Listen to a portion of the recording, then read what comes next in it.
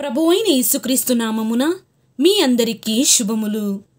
సామాన్య పద్దెనిమిదవ శుక్రవారము. నెత్తురు ఒలికించిన పట్టణమునకు వినాశనము తప్పదు.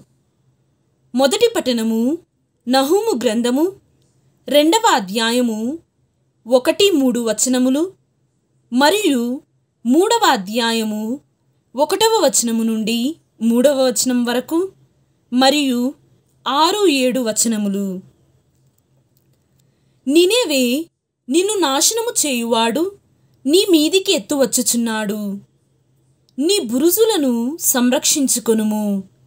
నీ త్రోవకు కావలి వారిని కాపుపెట్టుము. నీ సైన్యమును ప్రోగు చేసుకొని పోరునకు ఆయుత్తము కమ్ము. నీ విరోధులు ఎర్రని డాళ్ళను చేబూని ఉన్నారు. ఎర్రని దుస్తులు ధరించి ఉన్నారు. వారు నీ మీద పడుటకు తయారుగా ఉన్నారు. వారి రథములు నిప్పు వలె మెరుగుచున్నవి వారి అశ్వములు పోరునకు ఉత్సహించుచున్నవి.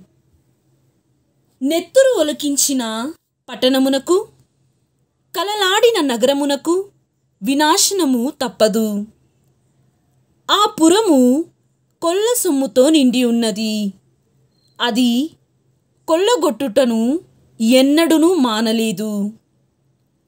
అదిగో కొండల చెప్పుడు చక్రముల ధ్వనులు గుర్రముల దౌడు రథముల నాదము. రౌతులు ప్రాకారముల మీదికి దుముకుచున్నారు. కత్తులు మెరియుచున్నవి. ఈటలు కలకలలాడుతున్నవి శవములు కుప్పలు పడుచున్నవి. పినుగులకు అంతము లేదు. మనుషులు ఆ మృత శరీరములు తట్టుకొని పడుచున్నారు.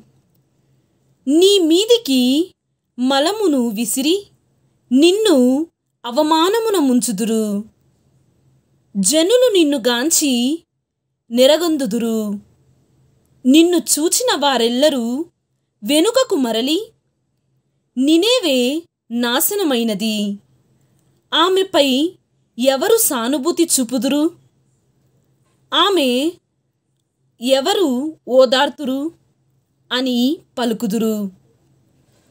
ఇది ప్రభుని వాక్కు సర్వేశ్వరునికి వందనములు. భక్తి కీర్తన అందరూ. జీవమునకు మరణమునకు కర్తను నేనే.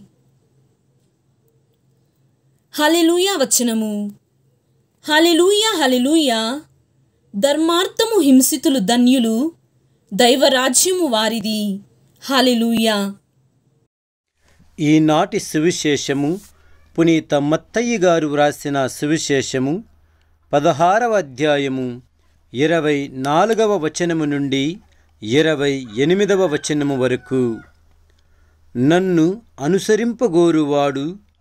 తన్ను తాను పరిత్యజించుకొని తన సిలువను తీసుకొని నన్ను అనుసరింపవలయను తన ప్రాణమును కాపాడుకొన చూచువాడు దానిని పోగొట్టుకొనును. నా నిమిత్తమై ప్రాణమును దారపోయువాడు దానిని దక్కించుకొనును. మానవుడు లోకమంతటిని సంపాదించి తన ఆత్మనే కోల్పోయినచో వానికి ప్రయోజనమేమి? తన ఆత్మకు బదులుగా మానవుడు ఏమి ఇయ్యగలడు? మనిషి కుమారుడు దూతల సమేతముగా తన తండ్రి మహిమతో వచ్చి ప్రతి ఒక్కనికి వాని క్రియలను బట్టి ప్రతిఫలమును ఇచ్చును. అచ్చటనున్న వారిలో కొందరు మనిషి కుమారుడు రాజుగా వచ్చు దృశ్యమును చూచినంత వరకు మరణింపబోరని నిశ్చయముగా చెప్పుచున్నాను అని యేసు శిష్యులతో పలికెను. ఇది క్రీస్తు సువిశేషము. క్రీస్తువ మీకు స్థుతి కలుగునుగాక.